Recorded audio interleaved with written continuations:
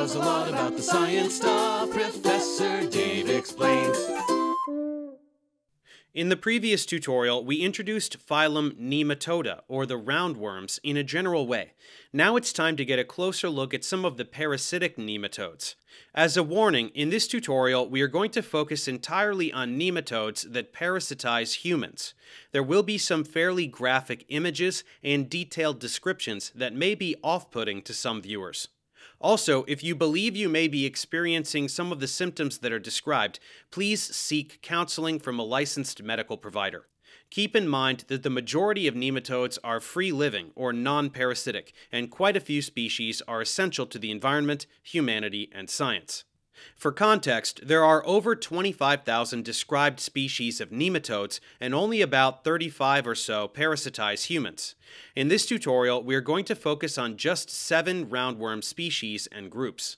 Those are the human intestinal roundworm, pinworms, hookworms, trichina worms, guinea worms, filarial worms, and dog roundworms. The intestinal roundworm, Ascaris lumbricoides, is an extremely common roundworm species that parasitizes humans. Globally, about 1 billion people are likely to have an intestinal roundworm at any given time, though this is more common in countries without adequate sanitation and sterilization facilities. Intestinal roundworms live in the small intestines of their hosts. Adult females can grow to sizes of 30 centimeters in length and produce 200,000 eggs a day, which leave the host through the feces. These eggs, while extremely durable and tolerant to a lack of oxygen and moisture, are easily killed by direct sunlight and high temperatures. If the eggs are accidentally consumed, usually through infected food, they hatch and burrow through the intestinal wall and into the blood, eventually making their way to the heart, then to the lungs, and to the trachea, then the pharynx, where they are swallowed and brought back into the stomach to complete their development. There, they feed on intestinal contents and mature in a matter of two months after initial ingestion. Most humans parasitized by intestinal roundworms are unaware since their infection is rarely fatal, though in large numbers they can be deadly. Infection can also lead to abdominal pain, allergic reactions, and blockage. Pinworms are one of the most common worm parasites in the world. Right now, at this very moment, at least 1 billion people are currently infected with pinworms. Likely well over 10% of the US population is currently infected, and some experts place that number much higher. However, they are most common in children under 18 and their caretakers. This is because adult parasites live in the large intestine and cecum. Females, which are only about 12 millimeters in length, migrate to the anal cavity at night to lay eggs. This causes an itch that, when scratched, contaminates the hands and bedclothes. If the microscopic eggs are accidentally swallowed, they infect the host and develop rapidly, within six hours at human body temperature, hatching in the large intestine. They can continually infect the same host or easily spread through hand to hand contact. Infection is easily prevented through regular hand washing, daily underwear changes, showers, and frequent changing of bedding. A range of prescription drugs and over the counter medicine exist for their treatment, though most infections are mild and pass without the host knowing once proper sanitation is restored. Humans are their only host, they do not infect any other animals. Hookworms are so named because their anterior region curves dorsally, resembling a hook. More than half a million people in the world are likely infected by hookworms. As adults, they use the plates in their mouths to attach to the intestinal lining of the host, where they suck and pump blood through their intestine. Heavy infections can cause anemia and reduce growth and development in children. Like the intestinal roundworms, their eggs pass in fecal matter, but unlike the intestinal roundworms or pinworms, the eggs hatch within the soil and live on bacteria, like free-living roundworms. However, unlike the free-living roundworms, if human skin comes in contact with infected soil, these juveniles can turn parasitic and burrow into the skin to the blood, and then the lungs, where they are coughed up into the pharynx and swallowed very much like the intestinal roundworm. Trichina worms are a genus with numerous species of microscopic nematodes known to cause the potentially deadly disease trichinosis, and about 10,000 cases are reported annually. They are widespread in both wild and domestic populations of mammals, though a few species parasitize wild birds and crocodiles.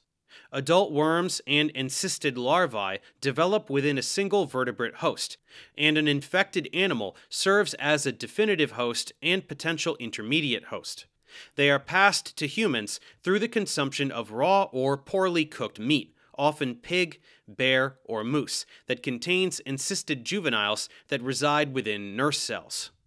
Upon hatching, juveniles penetrate blood vessels, where they are carried around the body and eventually to skeletal muscle cells, where they cause a redirection of gene expression in their host cell, forcing it to become a nurse cell that feeds the worm. The guinea worm is responsible for causing dracunculiasis, a neglected tropical disease that mainly affects poor communities in parts of Africa and Asia that lack access to safe drinking water or consume under or uncooked fish. Technically, it spreads through infected copepods, microscopic crustaceans that, when consumed, die in the stomach and release the juvenile worms. Unlike some other roundworm parasites, infection by guinea worms is very painful, and full grown female worms physically leave the body, typically through the lower leg, causing excruciating pain. Thankfully, a great deal of progress has been made in the eradication of the guinea worm, led by the Carter Center and the International Task for Disease Eradication, that started their eradication effort in 1986, when there were about 3.5 million cases reported in 21 countries in Africa and Asia. In 2022, there were only 13 reported human cases from four countries. Like the guinea worm, filarial worms also cause debilitating diseases. There are at least eight species of filarial worms that infect humans, and unfortunately, they infect around 120 million people in tropical countries. They generally live in the lymphatic system and can cause inflammation and obstructions. Sexually mature females release live young, known as microfilariae, into the bloodstream. There, they are accidentally ingested by mosquitoes that act as a secondary host where the young develop. Then, when and if the mosquito is able to bite again, they escape into the wound and migrate via the lymphatic system to a regional lymph node where they develop to sexual maturity, mate, and give birth to microfilariae.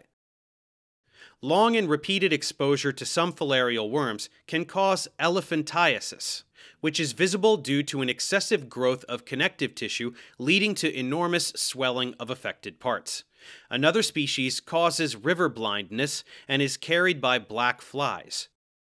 Yet another species, the dog heartworm, is also carried by mosquitoes but mainly infects canids, cats, ferrets, and sea lions.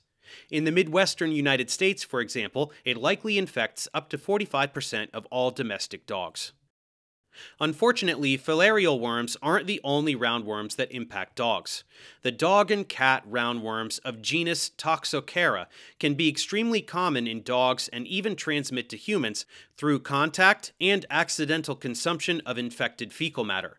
Humans can be infected by this roundworm just by stroking an infected dog's fur and accidentally ingesting infective eggs that may be present. In domestic dogs and cats, it develops in the small intestine. In humans, it can develop in the back of the eye, causing blindness, or in the liver or lungs. Like many roundworms, infection can be greatly reduced through proper sanitation and frequent hand washing. Infected animals can spread eggs in their feces or through vertical transmission, where pregnant hosts can pass the infection directly to their offspring when wandering juvenile worms infect the embryos, meaning some puppies and kittens are born infected. And that wraps up our survey of parasitic nematodes and nematodes in general. But we're not quite done with parasites yet. Let's move forward and examine the only entirely parasitic animal phylum, Nematomorpha, the horsehair worms. Thanks for watching. Subscribe to my channel for more tutorials. Support me on Patreon so I can keep making content. And as always, feel free to email me, ProfessorDaveExplains at gmail.com.